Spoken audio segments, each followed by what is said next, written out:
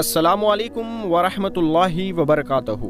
प्यारे दोस्तों, आज की हमारी इस वीडियो में हम बात करेंगे रमज़ान का महीना और गरीब पड़ोसी। ये कहानी वाजिद और अकील भाई की है। रमज़ान का महीना था। वाजिद ने अपनी बीवी से कहा, जल्दी करो, इफ्तारी का वक्त होने वाला है। वाजिद घड़ी देखते हुए बोले, क्या लस्सी और शरबत बना लिया? तो उनकी बीवी ने जवाब दिया, जी, बना लिया। वाजिद ने कहा हाँ देखो तो सही किस कदर गर्मी है।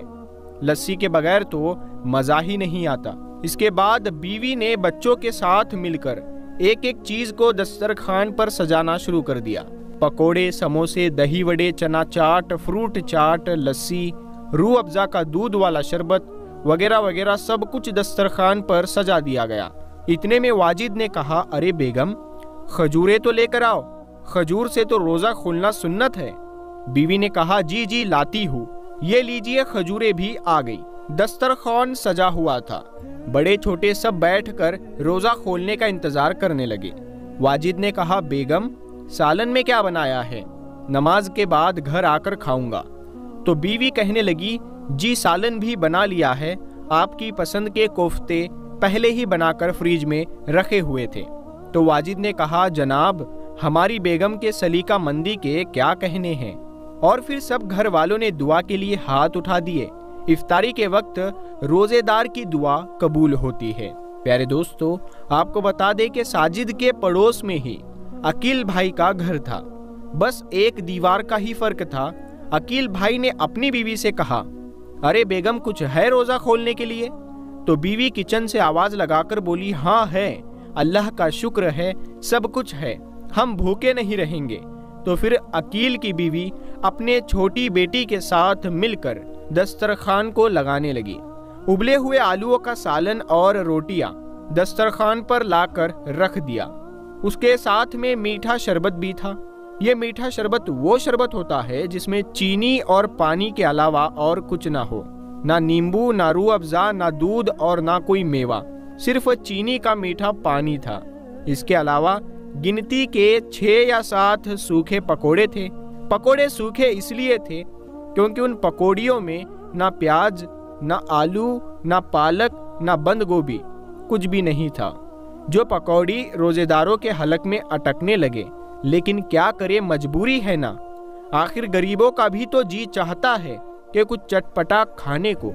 अकील की दोनों बड़ी बेटियाँ, जो कुरान पाक की तिलावत कर रही थी, वो भी आकर बैठ गई और अब ये गरीब घराना रोजा खोलने का इंतज़ार करने लगा। अकील ने एक नज़र दस्तरखान की तरफ़ देखा और फिर अपनी तीनों बेटियों की तरफ़ देखा। उसके दिल में दर्द की लहर सी उठी कि इस उम्र में बच्चियों के क्या क्या शौक होते हैं और मैं तो इनको ढंग से खिला भी नहीं पाता। इफ्तार का वक्त, दुआ कबूल होने का वक्त होता है। वो सब दस्तरखान के चारों तरफ़ बैठ कर दुआएँ मांगने लगे। अकील की आँखों में आँसू आ गए। वो अल्लाह की बारगाह में फरियाद करने लगा अय मेरे अल्लाह मेरी बच्चियों के नसीब अच्छे करना, आगे कहीं गुर्बत की चक्की में पीसने से बचा लेना। अय मेरे मौला, इन्हें नेक शरीफ खुशहाल रिश्ते अता फरमा। बेटियाँ बहुत समझदार और सब्र करने वाली थी, मगर सबसे छोटा बेटा ये बर्दाश्त नहीं कर पाता था। वो कहने लगा, अम्मी, अभी मैं असद के साथ उसके घर चला गया था। उसके घर में दस्तरखान रोज़ाना भरा होता है। ये सब कुछ हमारे घर में क्यों नहीं होता है? मुझसे नहीं खाई जाती रोज रोज कभी आलू, कभी टिंडे, कभी दाल। माँ ने बेटे से कहा, बेटा, सब्र करो, अल्लाह सब ठीक कर देगा। बेटा कहने लगा, अम्मी, सब्र तो करता हूँ, लेकिन हफ़्ते में एक दफ़ा तो अच्छा खाना खिला दिया करे। कभी शरबत में रूह अफजा तो डाल दिया करे, कभी तो गोश्त या मुर्गे का सालन बना लिया करे। दोस्तों, बेटा अभी छोटा ही था, उसकी उम्र 11 या 12 साल की थी और उसका नाम अहमद था। माँ का कलेजा तड़प उठा। उसने बढ़कर अहमद को सीने से लगा लिया और खुद भी सिसक सिसक कर रोने लगी और कहने लगी, सब्र कर मेरे लाल, अल्लाह ने सब्र करने वालों के लिए जन्नत बनाई है। वहाँ सब कुछ मिलेगा बेटा, सब्र करो। बेटा भी माँ के सीने से लगकर घुट घुट कर हिचकिया भरने लगा। उसकी उम्र 11 या 12 साल की थी, लेकिन रोज़े सब पूरे कर रहा था। आज ना जाने, वो ऐसा क्यों बिखरा कि संभालना ही मुश्किल हो गया। बच्चियाँ भी अंदर ही अंदर घुट रही थी, लेकिन हालात को समझती थी। इसीलिए वो ज़्यादा कुछ नहीं कहती थी। लेकिन एक बेटी ने उसमें से कहा कि, अम्मी जान, सिर्फ़ इफ्तार की क्या बात है? शहरी में भी तो सूखी रोटियाँ नहीं खाई जाती। शहरी में दो चम्मच दही हमें भी मिल जाया करे तो क्या ही बात हो? पड़ोसन बता रही थी कि शहरी में दही खाने से प्यास नहीं लगती। वो अंदर ही अंदर ना जाने क्या क्या सोच रही थी। छोटी बेटी भी आसमान की तरफ़ देखने लगी और दिल ही दिल में ये सोच रही थी, इस्लाम में तो कहा गया है कि अल्लाह की राह में खर्च करो। अय अल्लाह, क्या ये लोग कुरान पाक नहीं पढ़ते? क्या कुरान पाक उनकी समझ में नहीं आता? तो फिर ये लोग क्यों अल्लाह की राह में खर्च नहीं करते? ये लोग क्यों नहीं समझते कि गरीब का भी तो दिल होता है, ख्वाहिशें होती है कभी कभी तो हमारा भी अच्छा खाने का दिल चाहता है। अय मेरे अल्लाह मैं तुझसे गिला नहीं कर रही। तू हमें जिस हाल में भी रखे, हम तुझसे राज़ी है।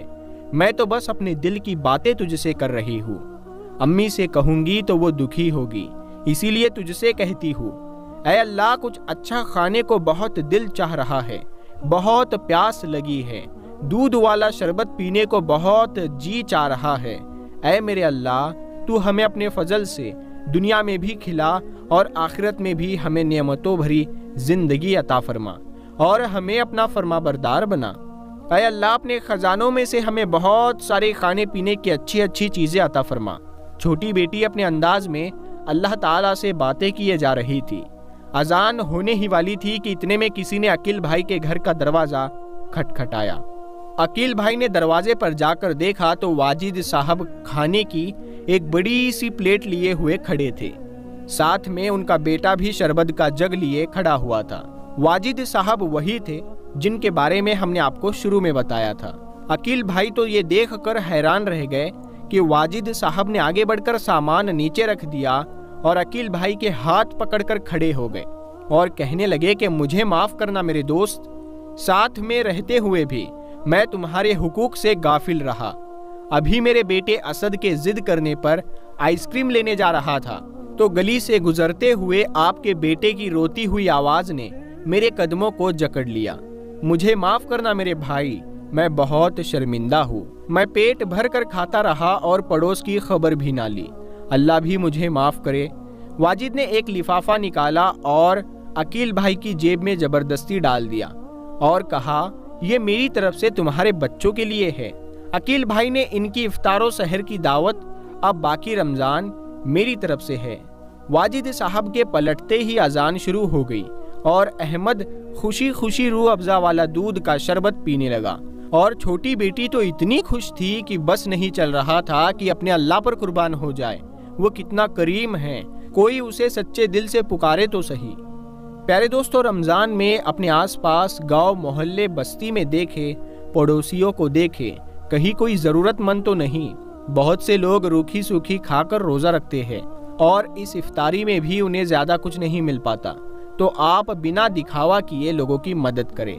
अल्लाह पाक हमें कहने सुनने से ज़्यादा अमल करने की तौफीक अता फरमाए। और प्यारे दोस्तों, ये वीडियो अगर आपको पसंद आई है तो इस वीडियो को लाइक ज़रूर करें। और इसी तरह की वीडियोस देखने के लिए आप हमारे चैनल नूर हदीस को ज़रूर सब्सक्राइब करें और साथ में लगे बेल आइकन को ज़रूर दबा दें। हम मिलते हैं अगली वीडियो में तब तक के लिए अस्सलाम वालेकुम